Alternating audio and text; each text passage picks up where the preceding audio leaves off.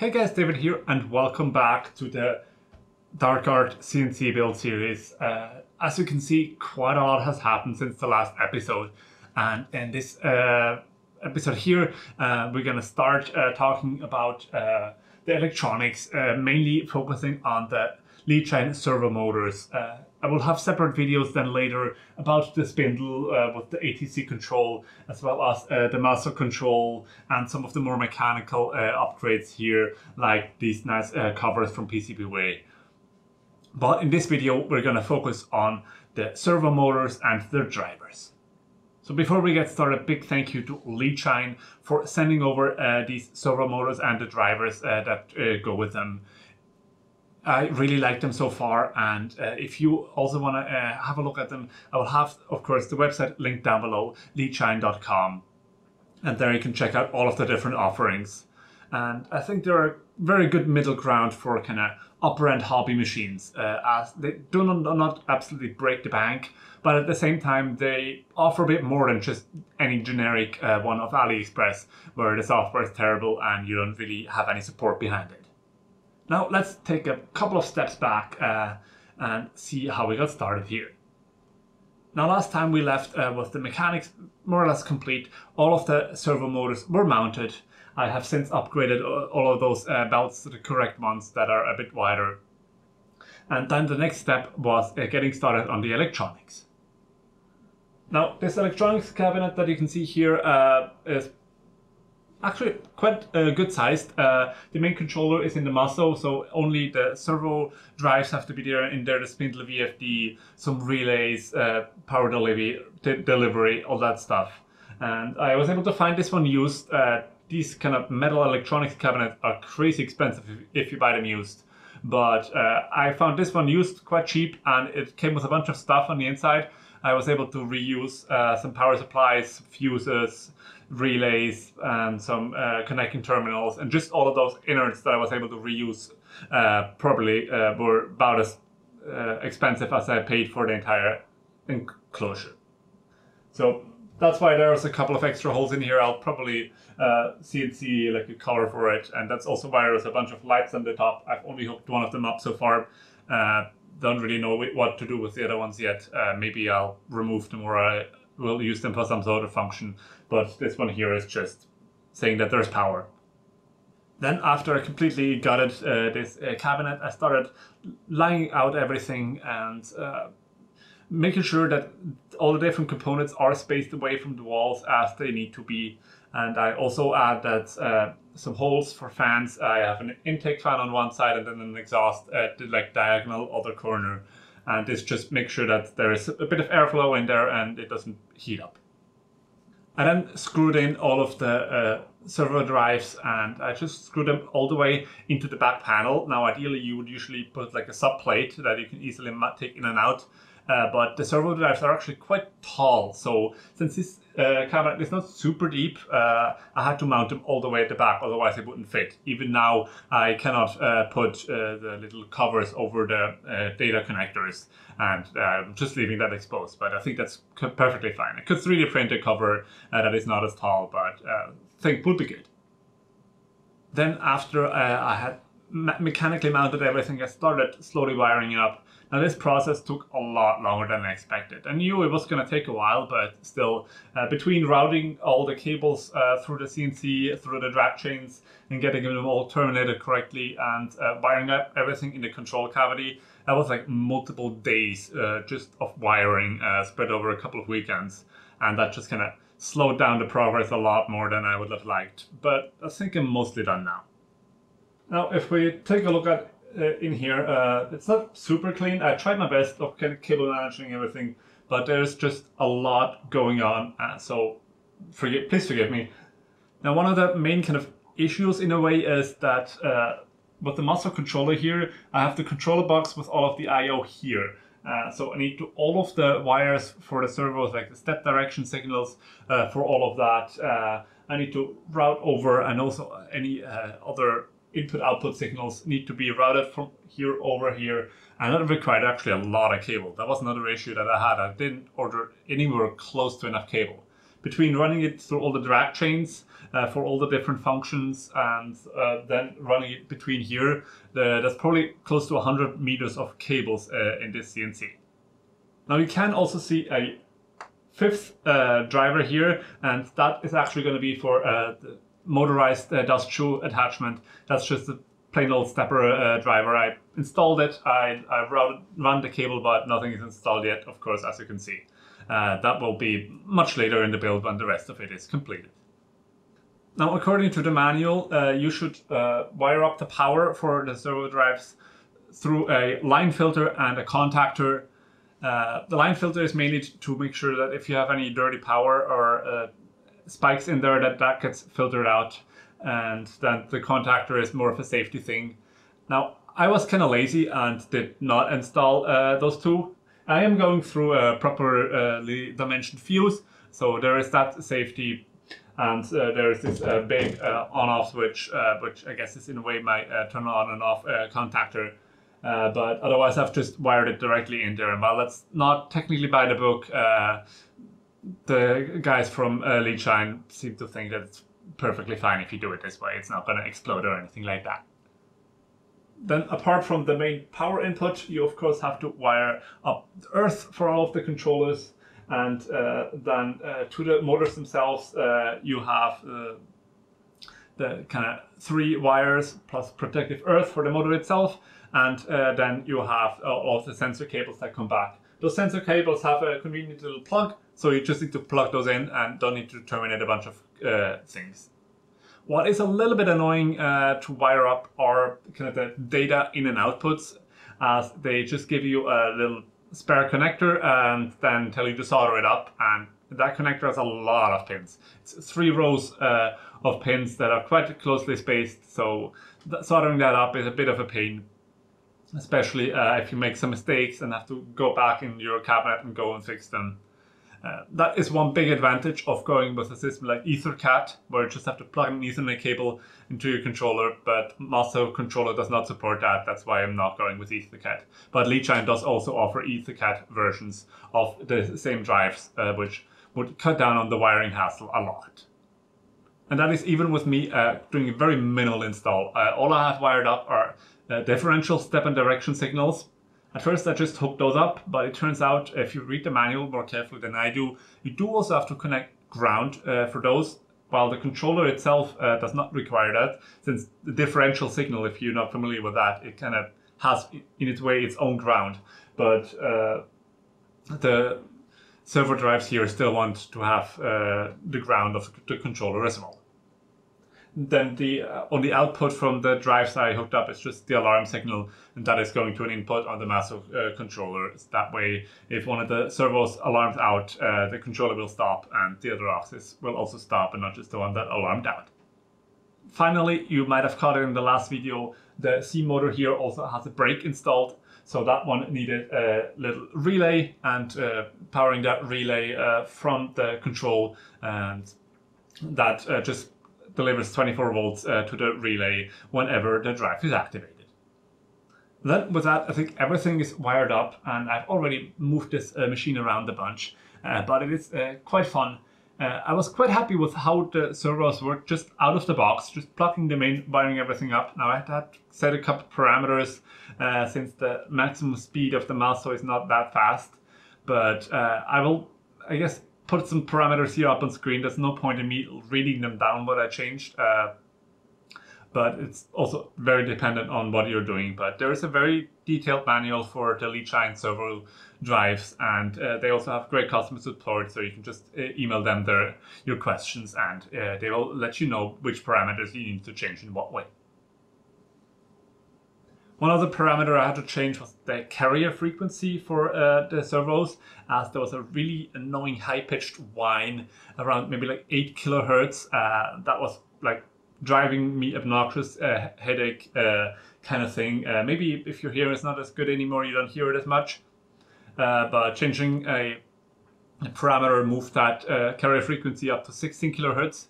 Now I can still hear that whine, but it's just like at the very limit of my hearing and uh, not nearly as loud anymore. It, I'm sure it does not pick up uh, here on the microphone, uh, but it's still a slight high pitched whine. But with the clo- uh, enclosure here closed, it's not that bad.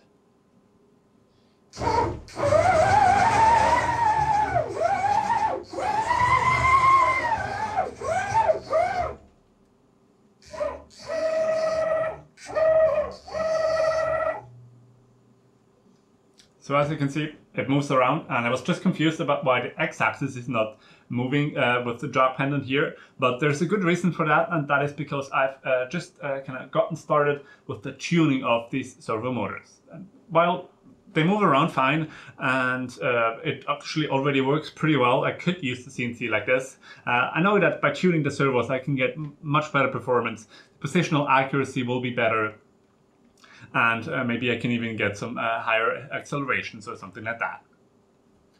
So for that, uh, to be able to tune them, uh, you just connect uh, to the driver here uh, with a USB cable and then there's the motion control software that you load onto your computer and that allows you to, for one, change all the parameters in a more convenient ways instead of having to cycle through the little buttons on the drive itself. But it also has some uh, tuning utilities uh, where you can either manually tune it. There's a scope in there uh, that allows you to kind of see uh, what you're requesting of the drive and then what the drive is actually outputting, as well as the, kind of the feedback from the sensors uh, of like how accurately is the servo following the position you're sending it and all of that good stuff. All right, so here we are inside of Motion Studio and uh, there's a bunch of functions here, but uh, what I'm just going to do for this one here is the one-click tuning. Now this is the version uh, 2.3, which is at this moment actually not out yet. I was trying to use a, a older version at first and I had some issues, so they sent me the uh, access to the newest version, but it should be out very soon. And otherwise, I'm sure if you uh, have issues and you want to use the new version, just email them and they'll send you access as well. So here in one-click tuning, we can uh, select a couple of options uh, like what mode you're in, in, in position mode, and then for the tuning response, you can uh, kind of high, medium, low, uh, depending on how mechanically stiff it is. Uh, now, uh, I'm not sure I might be able to use high response, but I'm going to stick with medium since I do have the belts uh, that are driving the lead screws instead of directly driving them. But I think this is also just kind of the starting point, and then it adjusts the parameters anyhow.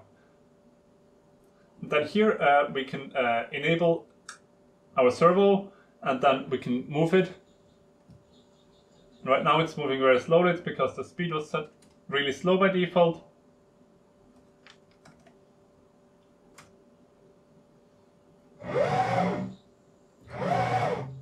And then you can jog around to set some safe positions down here, uh, which I've already done here. And uh, then uh, down here you can also set the speed limit and I'm going to tune it all the way up to the maximum of 3000 RPM.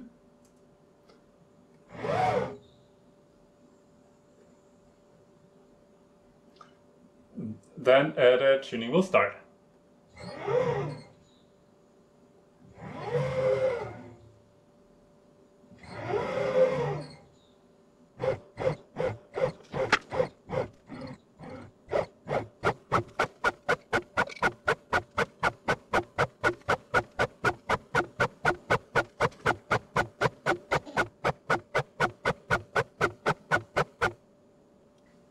So it now finished. And you were also able to see some of the scope running. And then uh, in here you uh, get some of the uh, end results. Uh, like for example, uh, a fun thing to see is like with these back and forth motions and accelerations, uh, the highest motor current that we needed is at like 42%, which is quite good because the accelerations are fairly fast. And that means that once there's actually cutting load, uh, my servo motor should still be well within a range uh, of what they can output. I was a bit worried about the 400 watt motors, uh, but this result uh, has been encouraged. We can also uh, go here into compare, and this uh, gives you all of the different parameters that it wants to change and like what they were before. So we can see that some of them have changed quite dramatically, while others is fairly similar. So one of the main ones uh, is the stiffness and inertia levels. So we can see the stiffness didn't change very much. Uh, so I guess my initial uh, choice was uh, pretty good. The inertia ratio increased by like 15%. And then what uh, changed quite dramatically uh, are the gain for the feedback loop. So we have the like the position loop gain uh, like almost 3x and same with most of the other ones. And I don't actually know what a lot of these parameters do specifically, but that's why it's good to have one of these one-click uh, tuning software uh, where you don't have to know what all the parameters do, but you can just let it run and then it tells you what parameters are good.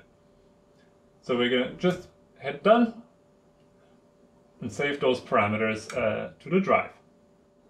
Now let's also have a quick look here at uh, the scope. So let's uh, look at one of those pulses. Uh, this is when it was uh, running during the tuning here. And uh, you can see the different directions as the different directions it was going. And if we zoom in here a bit, here on the left, you have the explanation of what the different uh, things mean. Uh, so here uh, in orange is what it's kind of commanded, so what, what we want it to do. Here in blue is the position deviation of like how wrong it is, and as you can see here, it actually ended up tuning it perfectly. And then here in red, you can also see uh, the current that it was pulling. Then one thing uh, to do uh, to maybe get a bit of a more clearer or more uh, extreme uh, sample here, you can go uh, to trial run, to position trial run. And this will basically do the back and forth motion and then let us observe it with, uh, with the scope here. Uh, need to enable the server.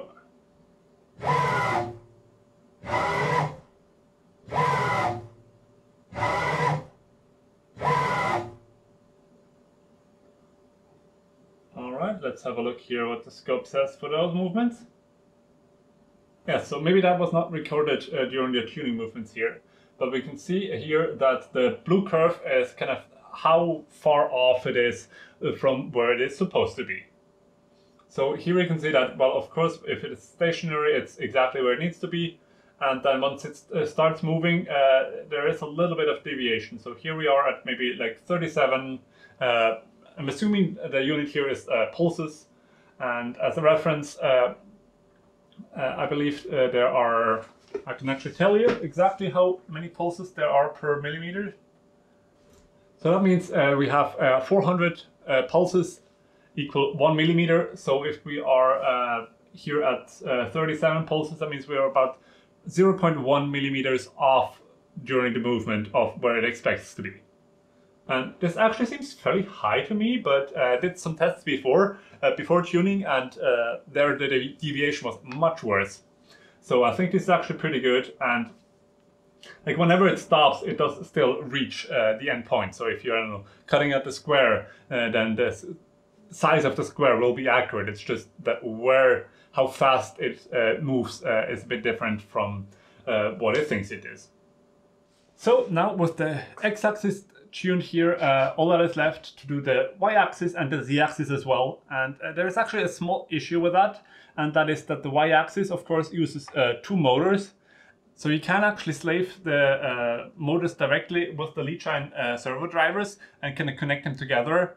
Uh, however, the issue with that is that I want to be able to square the gantry up by using two homing switches and uh, therefore I have it directly connected to the Masso. So you can connect your homing switches to the drives as well, but it just makes it a lot more complicated in my case. Um, but the only reason I even bring this up is uh, because for tuning, uh, you can only connect to one drive at a time.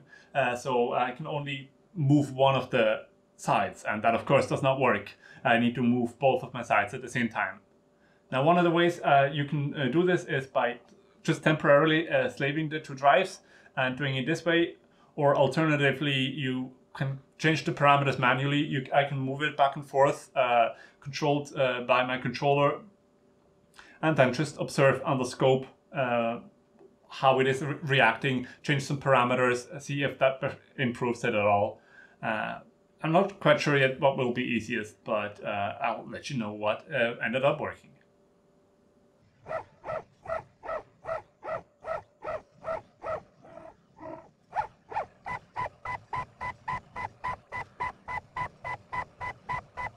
Alright, so I now went ahead and also did the tuning for the z-axis and that went uh, quite well again, of course. And uh, looking at the scope afterwards, uh, I also saw once again saw the like relative position deviation, but actually uh, I paid attention a bit more and saw like the direction in which the deviation is, and that uh, led me to clue in that this is not actually uh, an error, but it, this is a feature, and that's because basically let's say that these belts uh, in here that I have are rubber bands, like super soft. So when you pull on one side to kind of accelerate it, uh, it is going to lag behind slightly. And so what the drive here is actually doing is the deviation is in the forwards direction. So it is uh, kind of moving the, drive a bit further, a bit faster when it starts accelerating, and uh, that should uh, mean that it stays more on track on like the actual uh, toolhead end instead of the drive. At least that is my current interpretation of this. I'm, as I said, no expert on servo tuning, uh, but that would make sense, and it also looks like very nicely uh, following the shape of kind of the acceleration and then it's very steady during the movement. Uh, whereas before the tuning, it was a bit more kind of all over the place. So I think that is actually what is going on here. Now, as for the y-axis, uh, turns out that I don't think that my servo drives are actually compatible with that uh, master slave uh, setup that I saw over on Travis Mitchell's uh, channel uh, by the way, if you don't know his channel, make sure to go check it out. Uh, he is building like uh, DIY fiber laser cutters, and he also used uh, Leadshine servo motors. However, he used the EL7 servo drives, and I have the EL6 uh, drives. So I think that might be an issue of that. At least in the manual, looking for how to exactly set that up, I could not find anything. And the parameters that he referred to in his video uh, do not exist on my control. So that's why I'm assuming that uh, this slaving function is not uh, available.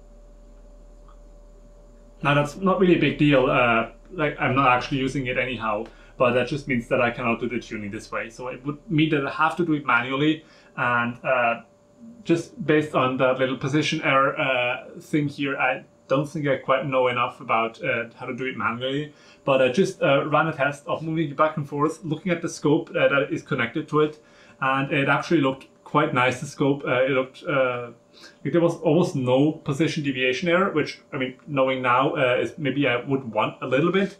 However, uh, the y-axis, since it is a much heavier gantry, also has some like different uh, properties.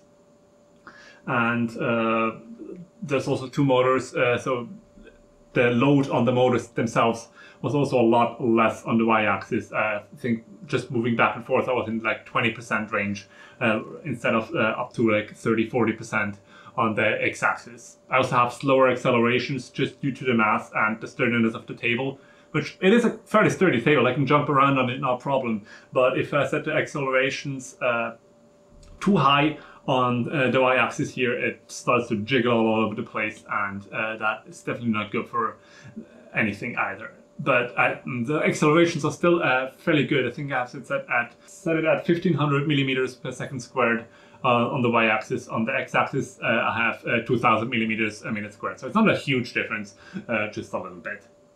So with that, I think what I'm saying is that for now, I'm not going to worry about the tuning of the uh, y-axis motors. I thought about just applying the settings from the x-axis motor to it, but looking at how different the tuning values for the z and the x-axis motor ended up being, I think uh, I will be doing more harm than good by applying uh, settings from a different axis to it, since the default configuration works quite well.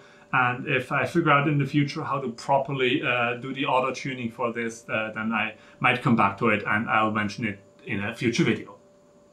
But for now, I just want to basically move on with this build. It's been taking a really long time to get uh, to this point, and I just want to be using this uh, machine. Now, I have some issues still with the spindle. Uh, this is actually going back to Germany uh, later today, and I hope that this clears up uh, quickly so that we can finish up this build. And I'm just as anxious uh, to see as you how it performs in the end. With that, once again, a huge thank you to Leadshine for providing all of the servo motors.